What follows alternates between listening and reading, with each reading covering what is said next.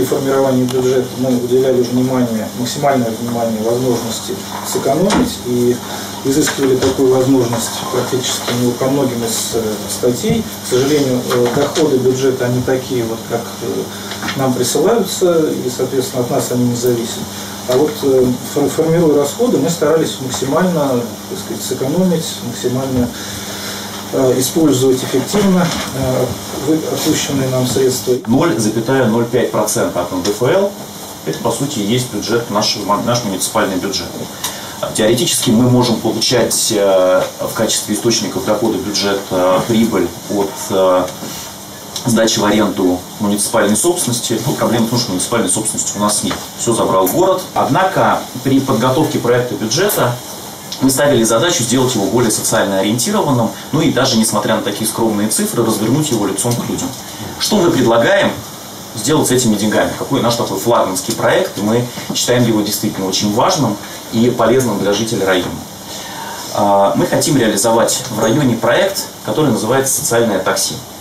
То есть, отказываясь от э, служебного транспорта, мы хотим направить освободившиеся деньги на специализированную машину, которая могла бы предоставлять услуги бесплатного такси для нуждающихся людей. В первую очередь для людей э, маломобильных, людей с ограниченными возможностями. Э, также мы хотим распространить эту услугу на э, многодетные неполные семьи. Понятное дело, мы не сможем объять необъятные. Те скромные возможности, которые есть в нашем бюджете, мы не сможем их направить на то, чтобы удовлетворить все потребности даже э, в рамках нашего района, не получится этого сделать. Да? Но это важный шаг для того, чтобы по крайней мере, сдвинуть ситуацию с мертвой точки. На городском уровне существует услуга социального такси, но, к сожалению, она работает неудовлетворительно. Вот хотя бы на уровне нашего района мы пытаемся ситуацию сделать хотя бы немного лучше за счет тех скромных средств, которыми мы можем распоряжаться.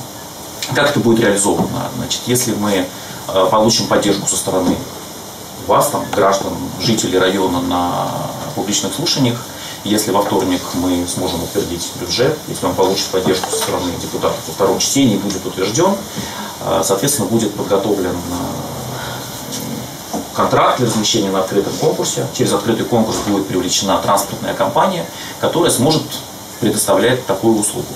Она будет получать ежемесячно, соответственно, перечисление из бюджета. Мы, как депутаты, будем контролировать предоставление этой услуги. Если у нас получится, возможно, уже в скором времени такие проекты будут запущены а, и в других районах. Предлагаю приступить к обсуждению бюджета. А вот премия, Илья Валерьевич, я смотрел предыдущее собрание в YouTube, вы там частично отказывались от своей премии. Насколько я понимаю, премия вам выделяется из местного бюджета. Совершенно Правильно? А премия депутатам выделяется... Да, там э, да, трансфер да, приходит да. из правительства Москвы, и эти да, деньги да. целенаправленно выделяются. Есть предложение, вы можете отказаться от своей премии, разделить между 10 депутатами те деньги, которые, а вот те деньги, которые вам выделяются из местного бюджета, прибавить такси. Огромная потребность есть в привлечении второго юриста, э, который бы занимался не э, обеспечением вот этой вот всей бумажной муниципальной волокиты, которой очень много. Найдете? А, на обеспечение всей этой бумажной волокиты, э, который помогал бы в приеме населения, в обработке обращений со стороны граждан и в подготовке депутатских запросов. А, премия, которую вы упомянули, которую я действительно получаю, которую получала моя предшественница Алексея Николаевна, которую получают все главы муниципальных образований, такая практика сложилась в Москве, я трачу именно на а, привлечение такого юриста. Ни копейки из положенной мне премии я не положил в карман.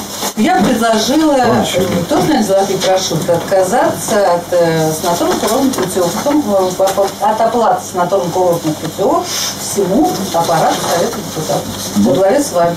И у меня еще тоже тогда вопрос. А кто будет контролировать, как используется это такси? Потому что вполне возможно, это такси вызывает бухгалтер и едет в казначейство на такси для инвалидов. Такое может быть? Может. Я скажу, как Кто будет контролировать? Я предлагаю себя. Прекрасное предложение. Да, я предлагаю как члены финансовой комиссии, бюджетной финансовой, контролировать использование.